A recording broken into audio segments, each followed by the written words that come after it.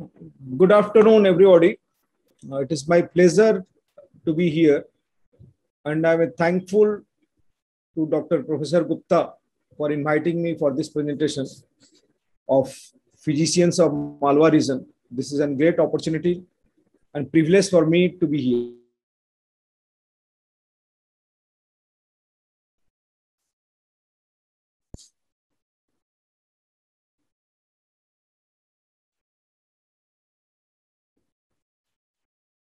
So I will be talking about psychiatric morbidity in medical practice, implication for management.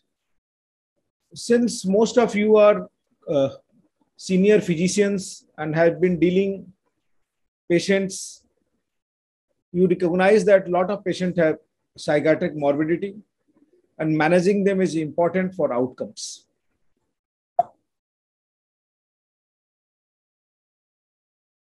So at least 25 to 30% of general medical patients have coexisting depressive anxiety, somatoform or alcohol misuse disorders.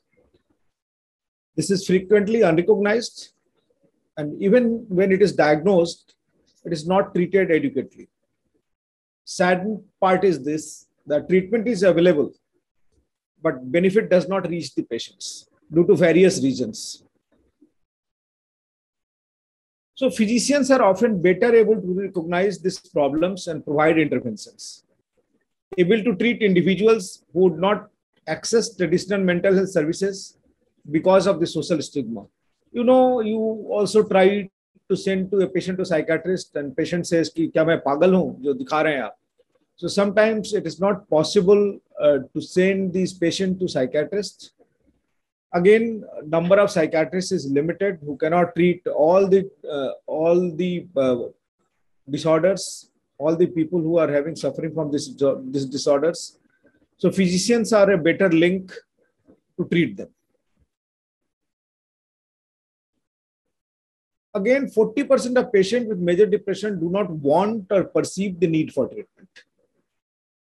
Patient consistently underreport emotional issues to their physicians so they do not want to recognize that they're depressed. And if you, even if you ask that uh, whether you are feeling low or depressed, they try to undermine it because they think that this is something like a weakness uh, and their failure, and people will laugh at it. People will consider them uh, consider them weak and mentally ill. So they do not want to share their emotional issues with physicians, but that has to be proved. 80% of patients with depression present initially with physical symptoms such as pain or fatigue or worsening symptoms of a chronic med medical illness. So 90% of depressed patients reported primarily somatic symptoms. Highest was the cardiological symptoms, around 40%, then chest pain, tachycardia, neurological symptoms, headache, dizziness, syncope, gastrointestinal, epigastric pain, diarrhea, pulmonary symptoms, dyspnea, asthma.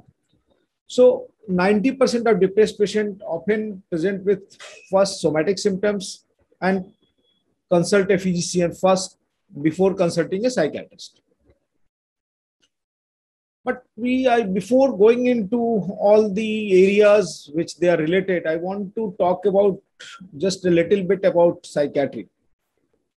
Initially psychiatrists were called alienist because uh, the symptoms were not located in any organ and where they were occurring people will not understand. So that led to mind or body dualism that mind is something different and body is something different. And people dealing with mind were called alienist because they were talking things which were alien to the uh, that time of medical literature. So psychiatry evolved from there as a faculty. Uh, but again, uh, now we uh, want to integrate, and there are a lot of newer evidence which point towards this, against this artificial definition of mind and body. Uh, both are uh, organs, brain is an organ, and all the psychiatric disorders are located somewhere in the brain. And newer hypotheses like inflammatory hypothesis are linking both this body and mind. There are a lot of talk about oxidative stress and inflammation. like 20%, 25% of people given interferon for the treatment of hepatitis C develop depression. SSRIs like fluoxetine, escitalopram, sertraline are excellent anti-inflammatory drugs. Psychiatric diseases share high comorbidity with chronic disorders like hypertension, diabetes, have higher incidence of metabolic syndrome, obesity. These diseases are having hyperactive inflammatory immune response and psychiatric disorders also have hyperactive inflammatory immune response. Uh, this is from nature. The, uh, the change in modern life from hunter-gatherer to modern. In hunter-gatherers, there were evolutionary pressure, or there were predators, there were pathogens, and there were conspecifics, fight. So inflammatory bias was towards alarm avoidance, wound healing, fighting infection. Then in traditional, uh, there was infectious mortality was high, inflammatory conditions were low, autoimmunity was low. Old friends, minimally pathogenic immunoregulatory mechanism was there.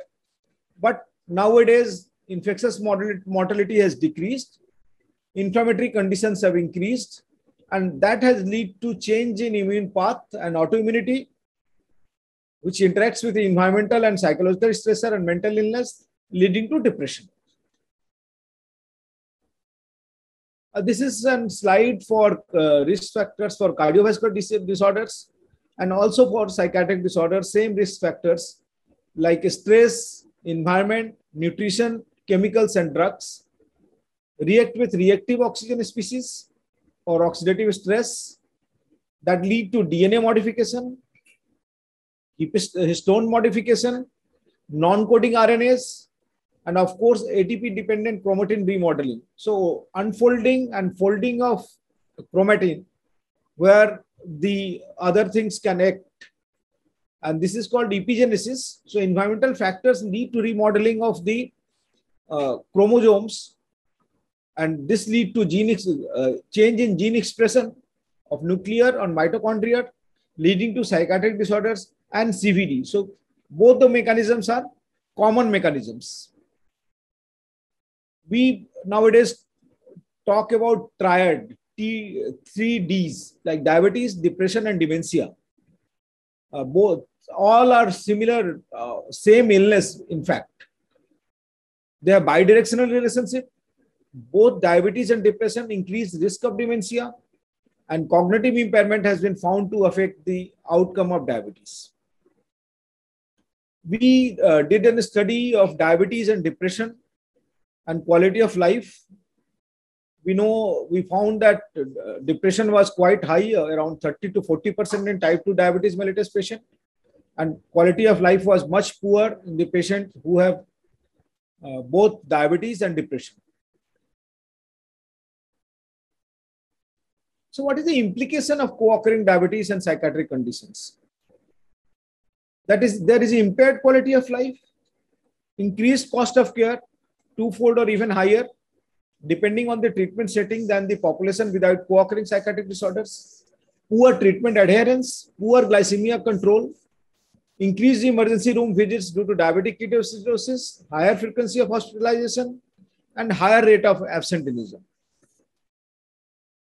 This is from the General Hospital Psychiatry and a study where they compared HbA1c levels in patients who are having diabetes or not depressed and who are depressed. And you can see that the patient having depression have consistently higher HbA1c levels. So depressive studies, prospective studies of depression and type 2 diabetes mellitus has found that baseline depression predicting incident of type 2 diabetes mellitus. So if there is a baseline depression, patient is high likelihood of uh, developing diabetes. Similarly, baseline diabetes predicting incident depression. So both predict each other.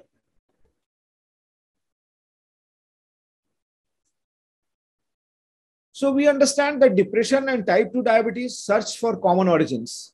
There may be nutritional factors, genomic factors, lifestyle, social adversity. Depression is common. Depression is associated with increased mortality. And treating depression alone does not improve glycemic control. We require both. So diabetes and depression both are interrelated, maybe having the same mechanism of uh, pathophysiology, and that's why they occur together. Similar risk factor is found with uh, CVD and depression. Patients with cardiovascular disease more likely to experience depression. Patients with depression 1.6 times more likely to develop coronary artery disease, even more likely with MDD. They are four times more likely to experience a myocardial infarction. And what is important is that most MI patients with depression are less likely to follow lifestyle changes which are prescribed. So what is important is that we have to recognize and treat psychiatric disorder who are comorbid with non-communicable diseases. Psychiatric morbidity is an important factor in management of NCD, particularly diabetes and cardiovascular diseases. Persons with mental illness often find it difficult to adhere to lifestyle changes required. Drug compliance is also impaired. Treatment of depression and anxiety improves outcomes. And one of the most important factors is adherence to treatment. High, having depression generally increases the risk of non-adherence three to fourfold. To improve adherence, we have to understand the patient's model of illness, identify social and financial barriers to the adherence, address patient concerns about the medication, discuss patient understanding about treatment and ability to follow through. We may have the best treatment to offer, but if patient is not adherent to treatment, that is useless. So we have to think of what are the factors responsible for adherence, particularly in light of depression and anxiety. And people who are having depressive uh, and they are not adherent to antidepressant medications, patients are often reluctant to engage in therapy more than half of the patients treated for depression in primary care practices stop drug treatment within three weeks. Question is why? Uh, because they were not told how long it would take to feel better, weren't warned about side effects, weren't told I needed to continue once I feel better. So, primary uh, care physicians should treat depression, but that should be made clear that this is a long-term process. Patient have need to take medication for longer time at least for six months, maybe to nine months, maybe longer. So that has to be emphasized uh, beforehand. Otherwise, compliance for antidepressant medications also goes down. And it is very important to screen for this depression. This is very easy. There is two question depression screen now. That is the over the past two weeks, have you felt down, depressed, or hopeless? Second is over the past two weeks, have you felt little interest or pleasure in doing things? So either there should be sadness or there should be anhedonia or loss of interest in things. A yes to either question is a positive initial screen for depression. And if there is an initial positive screen, then patient should be probed deeper, should be engaged in conversation about mood and change in behavior, 24%, uh, 24 to 40% of patients with positive screen receive major depressive disorder diagnosis. Others may have dysthymia, subsyndromal depressive disorders, anxiety, PTSD, substance abuse, panic disorders, or grief disorders. And there is a mnemonic uh, for identifying depression that is SIGECAPS. Change in sleep pattern, either decrease or increase in sleep from the baseline with early awakening, which is getting up two hours before the usual waking time, changing in activity or interest, decreased interest, decreased activity, feeling of guilt or increased worry, guilt like inappropriate guilt, patient has made small mistakes, but he's very guilty and he feels himself responsible for all the things. Change in energy in terms of low energy, changes in concentration, inability to concentrate, do works properly, complete works. There is a change in appetite that is either decreasing the appetite or increasing the appetite. Psychomotor disturbances and suicidal ideation and attempts. So these are the things which we have to ask to screen for depression. And if we are uh, treating depression in patients, follow up with patients on antidepressants at least once within the first month at least once more, four to eight weeks after the first contact. And we have to monitor for adherence, side effects, suicidal ideation, and response to treatment.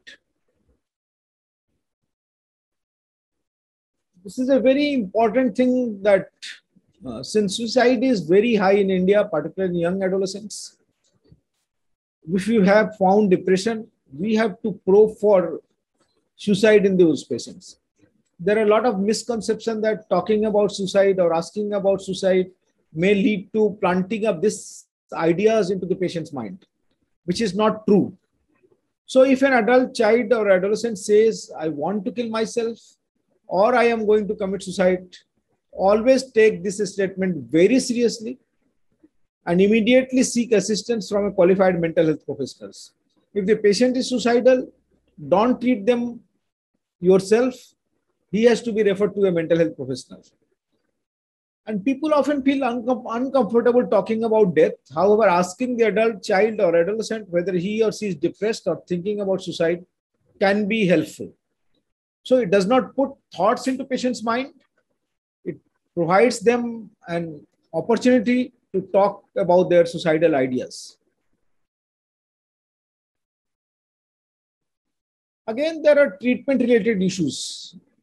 We know that antipsychotics are particularly atypical antipsychotics are notorious for causing metabolic syndromes uh, like increased hyperglycemia, weight gain, dyslipidemia. Particularly offending drugs are uh, clozapine is very high, olanzapine is very high, quetiapine, risperidone and other drugs can also cause metabolic syndrome. So we have to see whether the patient is getting these drugs or not any patient presenting with this and try to manage this or collaborate with psychiatrists whether these drugs can be changed and others. TCA are very much used like imipramine, amitriptyline and Prothiaden are very much used in primary care practice by physicians. We have to aware of two or three side effects. One is constipation. One is glaucoma, particularly in uh, close angle, uh, narrow angle uh, glaucoma, which may be precipitated, retention of urine, dryness of mouth. So all these uh, side effects has to be inquired into. They may be additive with uh, other drugs which are prescribed by physicians. And the SSRIs like uh, serotonin reuptake inhibitors, which are very selective, have less side effects, Drugs are like escitalopram, sertraline, fluoxetine. All these drugs are very safe, but particularly two kinds of side effects which we have to be very cautious. One is sexual side effects. They cause decrease in libido, decrease in interest, sometimes erectile dysfunction, but they are very much beneficial in PME or premature ejaculation because they increase the time.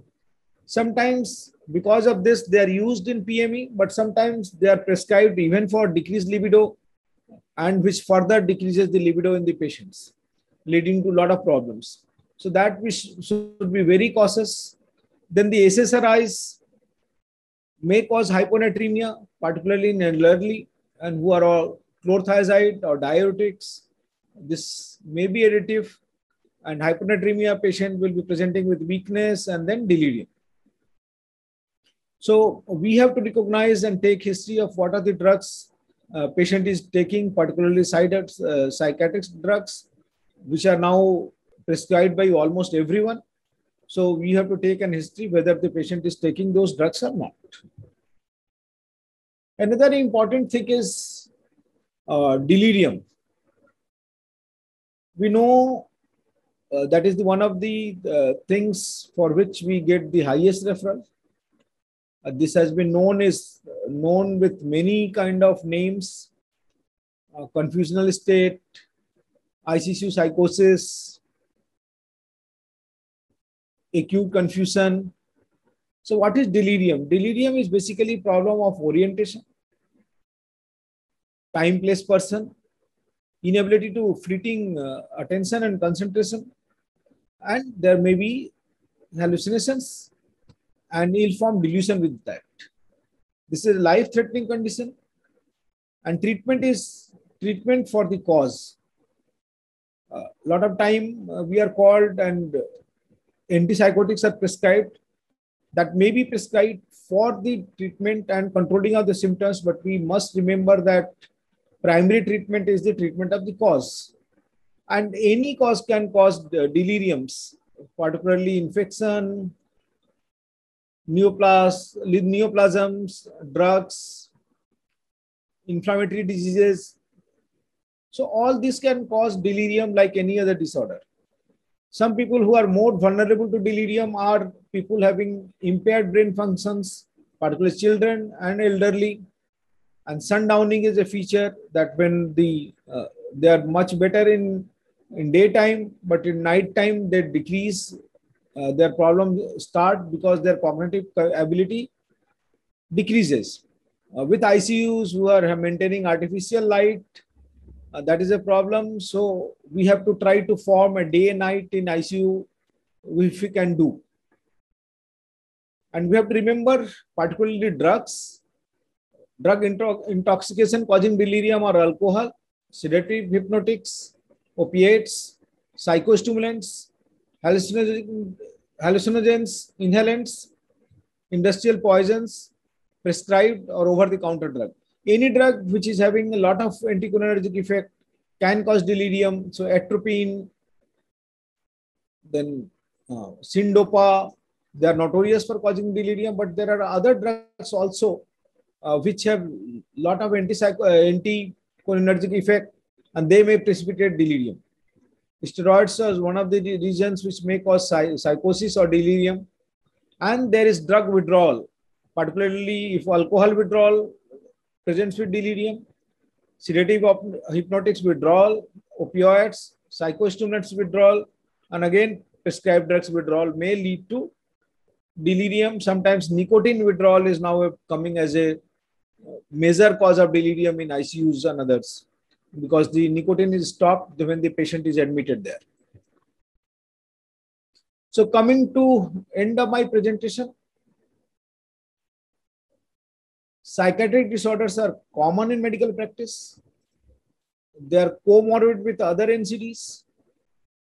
Recognition and management is important to improve outcome. Most of the disorders can be treated by primary physicians. Collaborative approach is required for better management. I have mainly talked about diabetes and CVD, but these mechanisms are important for other disorders also. And sometimes primarily somatic symptoms as symptoms of depression with no so-called physical abnormality can present and they have to be managed. And we have to restrict our investigations reassure the patient talk with them spend some time and manage this. This often brings a lot of benefit to the patients. And of course patients adherence and patients faith towards physicians also increases. So these are the things which should be followed in regular practice. Thank you. Thank you so much. Uh, this is my phone number and this is my email. I will be happy to clarify any points. If any clarification you want, I can you can share it to me. I will be happy to share my experience on this. Thank you. Thank you so much. Thanks again, Dr. Gupta and others for inviting me here. Thank you so much.